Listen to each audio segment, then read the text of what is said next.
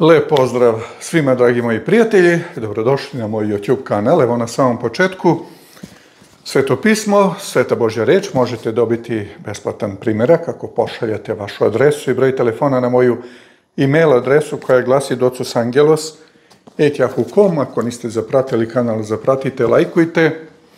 Ono što treba reći, predavanja profesora doktora Tomislava Terzina u Kraljevu, E, Biće, dakle, od 9.7. do 11.7. hotel Turist u centru grada na trgu se nalazi od 20 sati svake večeri. U Vrnjačkoj banji od 19 sati hotel Cefter se nastavlja taj serijal sa veoma zanimljivim temama, tako da vi koji ste na prostoru Kraljeva možete doći e, bilo ovdje u Kraljevu. To je, dakle, utorak, sleda, četvrtak, 9. 10. 11. I onda imamo u Vrnjačkoj banji 12. 13. i 14. u 19 sati hotel Cepter, ta neka dvorana tamo, lako je naći to, tako da možete do, doći i da možete poslušati. Ono što je vrlo važno da razumemo, a to je da događaji koji se smenjuju svakog dana jedan za drugim, e, jako se komplikuju u ovom trenutku. S jedne strane imamo NATO savez i G7 grupu i zapravo kolektivni zapad, s druge strane imamo BRICS, imamo tu Šangajsku grupu, imamo um, tu um, azijsku grupu, kako se oni tačno zovu, ne mogu sad tačno da se setim. I ono što se desilo u, u zadnjih nekoliko godina, to je da je ta takozvana um, azijska grupa ili šangajska grupa ili tačno kako se zovu, ne mogu tačno da se setim, a da sam slušao, ali nisam zapamtio naziv, i ceo BRICS imaju a, a, povećan taj bruto dohodak, to jest veći nego što to ima G7 grupa, i onda je tu sada postao problem za Zapad, i vidimo da a, zbog svih tih promjena finansijskih tokova, i e, finansijskih e, tendencija na zapadu i na istoku. Na, na istoku te tendencije rastu, na zapadu te tendencije su u minusu, dakle imaju pad. Da Nemačka e, insistira, Nemačka autoindustrija insistira kod Evropske komisije da malo bolje razmisle o tim sankcijama koje žele da uvedu za recimo kineske automobile i za sve ono što oni žele da spreče uvoz kineskih vozila po, po tim cenama koje, koje apsolutno Evropa ne može da parira ni na koji način, jer će se naći u velikom problemu ako Kina uradi, a već radi na tome da ima recipročnu vred, recipročni odnos prema evropskim proizvođačima automobila. Kod Amerikanaca oni tu jako vode računa, jer Amerika je veliko tržište, i oni tu vode računa da ih ne nagaze malo više. Tako da se um, ekonomski bilansi i pokazatelji na istoku i na zapadu uh, pok, uh, pokazuju zapravo i pokazatelji su velike, velike promene koje se dešava u svetu. I naravno da to ne odgovara zapadnim, uh, uh zapadnim liderima, vođama, pogotovo uh, tim multinacionalnim korporacijama koje su navikle da koriste položaj Sjedinjenih država, Evropske unije za ostvarivanje svog super profita preko neoliberalnog fašizma i korporatizma koji postoji, koji se sve više širi svetom, gde su NATO snage, vojna, vojno-industrijski kompleks širili njihov uticaj i raskrčivali put pred njima da postanu moćniji od država i naravno to je stvorilo niz poteškoća kod malih zemalja i onda se sada oni polako udružuju. Tu je BRICS, tu je, ima ih, e, to je više tih organizacija koje žele da naprave jednu jedinstvenu celinu kao protiv teg ili e, nešto što će biti nasuprot i a, SWIFT kodu koji je na zapadu prisutan i bankarskom sistemu koji je na zapadu prisutan, koji uh, uvodi sankcije. Dakle, oni uh, imaju jedne aršine za svoje, druge aršine za druge. Ja sada oni žele da se toga oslobode i to ide jako ubrzano i što je i dobro za narod, generalno je dobro, jer uh, Zapad koristi te poluge sankcione moći, gde oni recimo blokiraju vaša sredstva koje imaju kod sebe u njihovim bankama, I tu oni navode različite izgovore, demokratija, narušavanje ljudskih prava i koje kakve cirkuse smišljaju i laži da bi e, opljačkali određeni prostor, to jest da bi ga držali pod svojom superkontrolom. To sada više ne može. Čak i vojna, vojni potencijal Zapada više nije takav, niti Sjedinjenih država, niti Evrope koja se tu šlepa uz Ameriku, jer Amerika uglavnom sve njih nosi na leđima i zato su oni njihove pudlice iz Evrope koje trčkaju naokolo i mašu repićem. Tako da se to sada nekako sve više i više e, sta moć, taj potencijal zapada smanjuje. I zapravo sve to, kad tako sagledamo sve te događaje, sva ta zbivanja, sva ta dešavanja, mi zapravo vidimo jednu stvar, a to je da proročanstvo koje postoji u Danilovoj knjizi u drugom poglavlju, za kraj vremena, za vreme pred drugi slavni Hristov dolazak, da se ono ispunjava na najdoslovniji mogući način. I upravo ispunjenje tih proročanstava koja su nesalomljiva, apsolutno istorijski nesalomljiva, proročki nesalomljiva, u svakom smislu nesalomljiva, je dokaz da je da su sveti spisi staroga i novoga zaveta zapravo Bogom nadahnuti spisi, baš kako kaže ono u novozavetnom tekstu u poslanicama, jer nikada proroštvo ne bi od čovečije volje, nego naučeni od Ruaha Kodeš, od duha svetoga, govoraše sveti Boži ljudi. I u knjizi proroka Danila imamo jedno linijsko proročanstvo koje ima tu taj opis linearne, ne ciklične istorije, nego to ima svoj početak, ima svoj kraj. I naravno, to je pisano pre 2700 godina, otkriveno proročanstvo. Mnogi su u ovo novije vreme, Voltaire i ostala ekipa oko njega, govorili da to što je pisalo tamo, to ne može da bude tačno, jer je menjeno da bi odgovaralo istorijskim činjenicama. Međutim, spisi kod mrtvog mora su pokazali, dakle, zato što je knjiga proroka Danila nađena u više od 14 kopija u tim e, čupovima e, gde su sačuvani spisi, starozavetni spisi, to je Tanaha, i e, u svim tim sva ta 14 prepisa starozavetne knjige proroka Danila imamo isti identičan tekst kojeg mi nalazimo i danas u našim modernim prevodima, na našim jezicima, da mi to možemo razumeti. Jedan e, od monarha koji je tip e, monarha posljednjeg vremena je bio Nabuhodonosor, on je sanjao jedan san i taj san je otišao od njega, to je su zaboravio šta je sanjao, ali to ga je vrlo uznemirilo i onda on traži od svojih um, zvezdara, gatara, dakle oni koji, koji se bave nadprirodnim, supernatural, što bi kazali, nadprirodnim tim stvarima, da mu oni kažu što je on sanjao, oni kažu njemu, mi nismo u stanju i nema čovjeka na zemlji koji ti može kazati šta si ti sanjao, kako mi to možemo da znamo, to samo bogovi znaju koji nisu među ljudima, oni su gore na nebu, a to ljudi ne mogu znati. tamo je bio također među tim prorocima jedan mladić koji je doveden iz a, Izrela, Daniel ili Danilo, kako je prevedeno kod nas, mada je originalno Daniel, zato što svuda ima, sva imena su teofanična, Dan je e, ono takozvano 12. pleme sinova Izraelovih, dan znači sudija, a El je Bog, što znači Dani, El, Bog je moj sudija. I on je bio također tamo, i njegovi drugari Misak, Sedrah i Abdenego, i naravno kada je došao dekret da car se naljutio, mislio da je to zavera protiv njega, da se svi ti zvezdari, gatari, ti njihovi vračevi, pobiju i tu je, pošto su išli u tu njihovu vračarsko proročku školu i Danilo i njegovi drugovi i oni su trebali da budu pobijeni.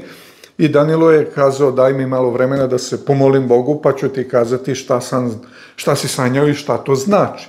I Danilo otišao druga, drugovima svojim, Misa Sedah i Evdenago, oni su se molili Bogu i Bog je otkrio u viziji Danilu šta je pokazao e, Nabuhodonosoru, koji je bio veoma uznemiren zbog a, poremećaja koje su postojali, postojali na njegovom dvoru.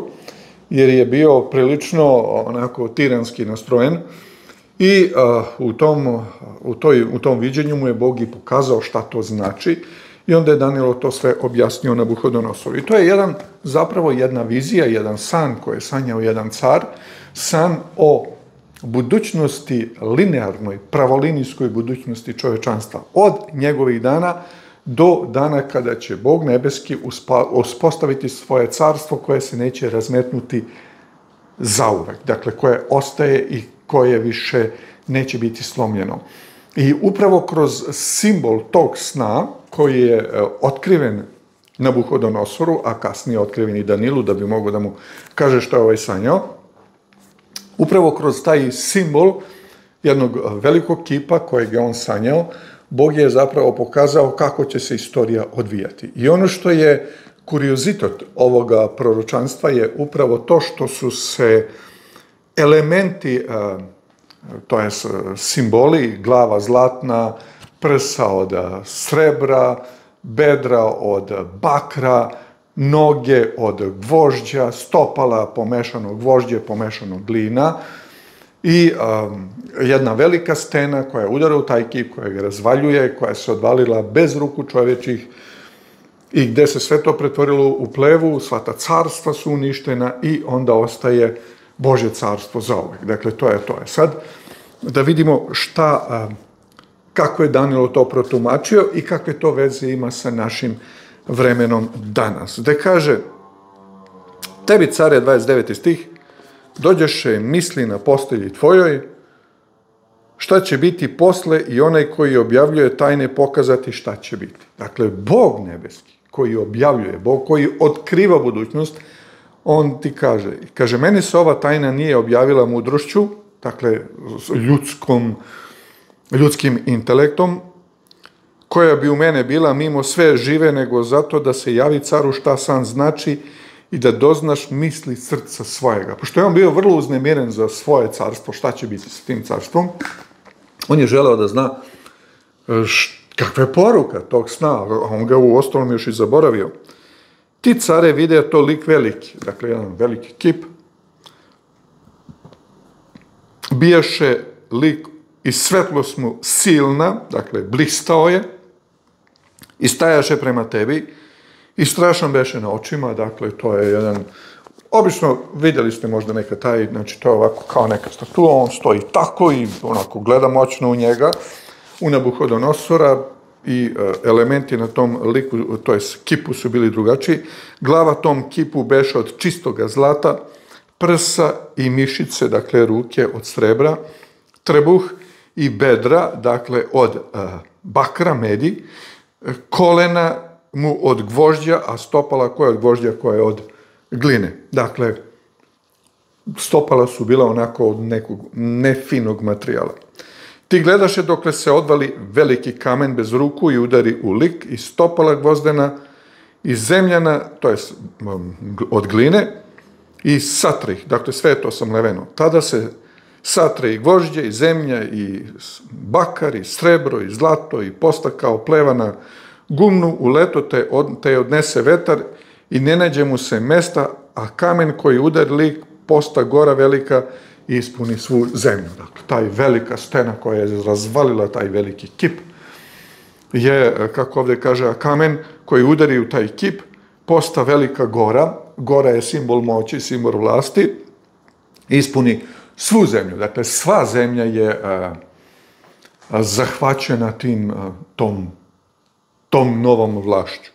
To je san, a sada ću kazati caru šta znači. To je sada ćemo kazati caru šta znači. Ti si care car na carivima, jer ti Bog nebeski dade carstvo i silu i krepost i slavu. I Nabuhodonosor je bio car na carivima i kada čitamo starozavetni tekst imamo jako mnogo posvećeno tome e, kod proroka Jeremije, pa imamo i također kod proroka Jezekilja, e, također i naznaku kod proroka Isaije, pa Danilova knjiga, o moći Babilona. To je bila zaista onda u izveštaju o carevima, također imamo taj opis i u izveštaju knjige dnevnika također imamo taj opis. Dakle, Babilon zauzima veliko mesto, zato se i na kraju istorije ponovo koristi termin Babilona, dakle onoga slika, onoga vremena da bi se interpretiralo naše vreme. I zato i spominjem sve ovo u kontekstu ovih događaja, jačanja istoka, slabljanja zapada. E, ti si care, e, car nad carevima i Bog nebeski dade ti carstvo i silu i krepost i slavu i gde god žive sinovi ljudski, zveri poljske i ptice nebeske, dao ti je u ruke i postavio te gospodarem nad svijem tijem, ti si ona glava zlatna. Dakle, Nabuhodonosor je zlatna glava, on je gospodar nad svim gde žive ljudi i životinje. Zapravo Babilon je, ili Babilonija u ono vreme je zahvatala ondašnji poznati svet gde su se razvijale najvažnije civilizacije eh, ljudske istorije. Naravno, na tom mjestu se nalazio i Izrael, Boži narod u sredini toga, da bi svetleo tim ostalim civilizacijama istine Božije. A nakon tebe nastaće drugo carstvo, dakle ide Babilon, carstvo manje od tvojega, potom treće carstvo medeno, to jest bakrano, koje će vladati po svoj zemlji.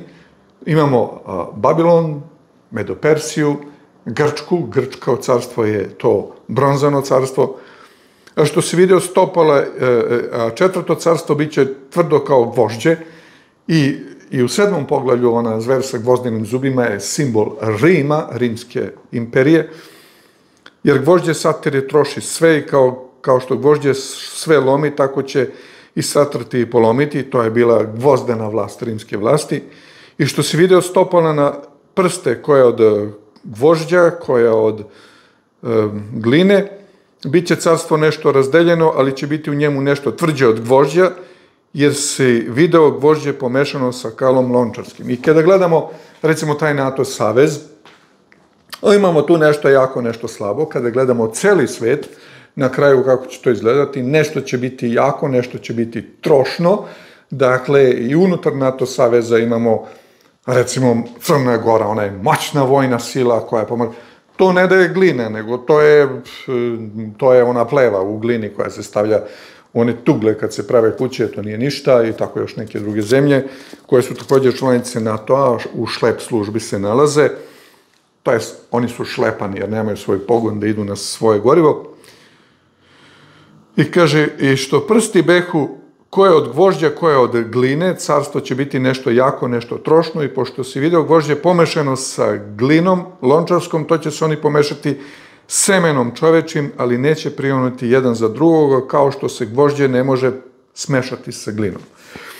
I svaki pokušaj tog novog svetskog poredka da se napravi, da se sve to smeša i da bude sve gvožđe, a gvožđe je svi oni koji se bave livenjem um, livenjem odlivaka u livnicama, oni koriste upravo zemlju da naprave kalup e, ili nešto kao glina, ali nije baš glina jer ona puca, i onda u taj kalup se uliva rastopljeno gvošće i to nikad ne prione jedno za drugo. Dakle, kada se razbije kalup, ona troska i to sve otpadne i ta glina okolo, kalup otpadne, a ostane samo odlivak koji je takav kakav jeste. I to jako dobro mašinci razumeju da gvožđe i glina se ne mogu nikada smešati jedno sa drugim.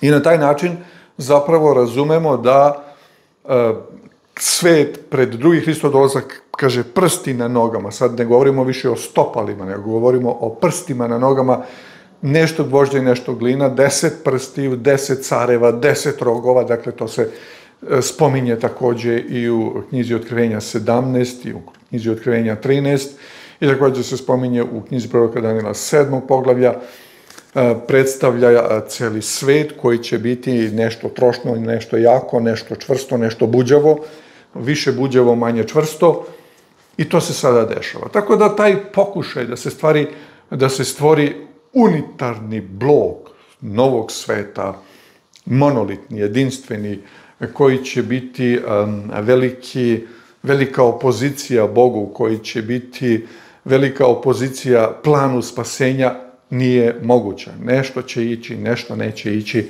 i to vidimo da upravo tako se i dešava. I ono što tekst kaže, a to je jako zanimljivo ovde, A što si video e, gvožđe pomešano sa glinom, lončarskom, to će se oni pomešati semenom čovečim, ali neće prijunuti jedan za drugo, kao što gvožđe ne može pomešati sa glinom. A u vreme tih careva, dakle, tih deset prstiju, Bog će nebeski podignuti carstvo koje se doveka neće rasuti. I to, I to se carstvo neće ostaviti drugom narodu, ono će stajati i ukinuti sva carstva, a samo će stajati doveka. Sva carstva ovoga sveta će biti ukinuta. Shutdown. Dakle, bit će ugašena. A Božje carstvo će ostati zauvek i ono se neće prekinuti nikada. Dakle, ono ostaje zauvek.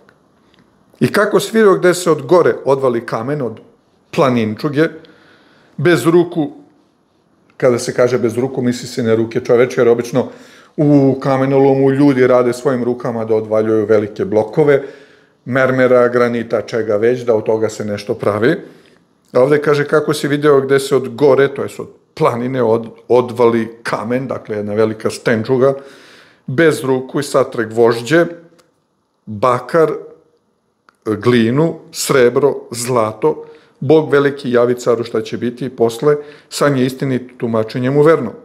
Tada car Nabuhodonosor pade na lice svoje i pokloni se Danilu i zapovedi da mu prinesu prinosi kad. I car progovori Danilu i reče, doista vaš Bog je Bog nad bogovima i gospodar nad gospodarima koji objavljuje tajne kada si mogao otkriti ovu tajnu. Bog objavljuje tajne. I ta e, takozvano linearna istorija, pravolinijska, koja, e, koju mi brojimo, dakle, to je kao peščani sat, to, to, to proročanstvo u knjizi proroka Danila, drugog poglavlja njega imamo također i u sedmom poglavlju sa malo drugačijim slikama, gde se o, kroz e, simbol životinja.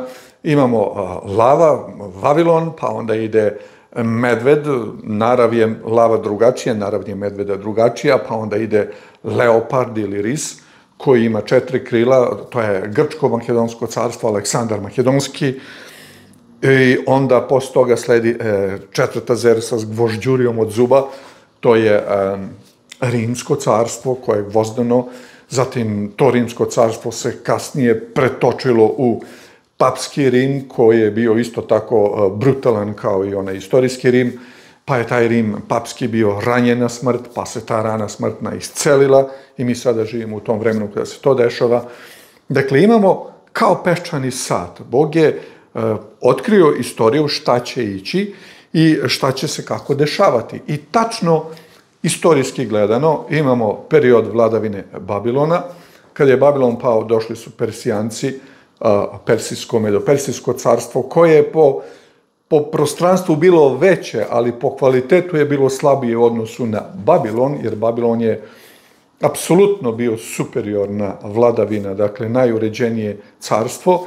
Onda dolazi Persijsko carstvo, posle Persije dolazi e, Grčko-Makedonsko, koje se deli na četiri dela, kako čitamo u sedmom pogledu knjige proroka Danila, Posle toga iz jednog od tih delova se razvija Mali rog, Rimsko carstvo, e, istorijski Rim 170 godina pre Hrista do 400 i neke godine posle Hrista i onda posle toga dolazi Papski Rim od 538. do 1798. onda dolazi ranjeni Rim od 1798. pa sve do evo 2024. Sada se ta rana isceljuje, jer kad smo gledali ovaj sastanak G7 vidimo da to sada se dešava upravo to. I onda dolazi isceljeni Rim, to je nešto što sada nastaje, i dolazi eh, drugi slavni Hristov dolazak, gde si video gde se eh, bez ruku odvali kamen od planine, velika, velika stena, i udari e, zlato i srebro i gvožđe i glinu i bakar i sve je to pretvoreno u prah i kao pleva i to je samo razduvano i Bog podiže svoje carstvo koje ostaje za ovaj. Što znači da mi živimo u vreme prstiju na stopalu tog kipa, ma nisu ni prsti, nego nokti koji nisu podsečeni, i to je tu sada. Znači, mi smo na samom kraju istorije plana spasenja i uh, taj pokušaj Če, recimo i BRICS, ako gledamo, to je nešto trošno, nešto jako. Zapadnu alijansu, ako gledamo, to je nešto trošno, nešto jako. Pokušaj e, globalista i tih, eh, tog korporativnog fašizma da stvori jedinstveni unitarni svet, jedinstvenu unitarnu svetsku vladu i sve to, vidimo da je to isto ne funkcioniše, jer Biblija kaže da se gvožđe glina čak i se, savezima, semenom čovečim također. Um, zašto e, semenom Čovječim? Pa ono udaje se, ovaj udaje svoju čer tamo za nekoga da bi, da bi stoje, ali ne ide, ne biva. Šta god da rade da se oprijatelje i da se ne oprijatelje, neprijateljstvo stoji pa stoji, jednostavno to ne može. Čak i vidimo animozitet unutar Evropske unije. Nemačka, kao ona je zabrinuta za Francusku, baš su oni zabrinuti za Francusku. Englezi su im okrenuli leđa pa pobegli. Amerikanci kažu, ma vi ste nesposobni, mi vas nosimo na leđima, ajde vi malo da više trošite vaše pare umjesto na lepe kuće, lepe automobile, na nešto konkretno, da kupujete tenkove i sve ostalo. Evropljani ne bi baš da kupuju, nego da se šlepaju uz Ameriku i da budu mala pudlica. I vidimo da i tu je nešto jako, nešto trošno, nešto ide, nešto ne ide, nešto škripi, totalno škripi. Vidimo da je tu problem. Tako da ono što Božja reč kaže, to se jednostavno ne može poništiti. I ta linearna istorija ovoga sveta koja je došla do same pozicije kraja, kada će Bog nebeski uspostaviti svoje carstvo, do danas nije prekršena ni u jednom segmentu. Dakle, proročanstva koje je Bog dao preko Danila, preko Jezekilja, preko Isaije, preko Jeremije, preko malih proroka, ni jedno do danas nije prekršeno. Sva su, sva stoje i istorija koju pišu istori, istoriografi, dakle ljudi koji nisu u dobrom broju religiozni, niti se zanimaju za religiju, niti znaju za ova proročanstva, nemaju pojma, nemaju pojma sa životom, blago rečeno, oni pišu istoriju koja potvrđuje da je ovo tačno.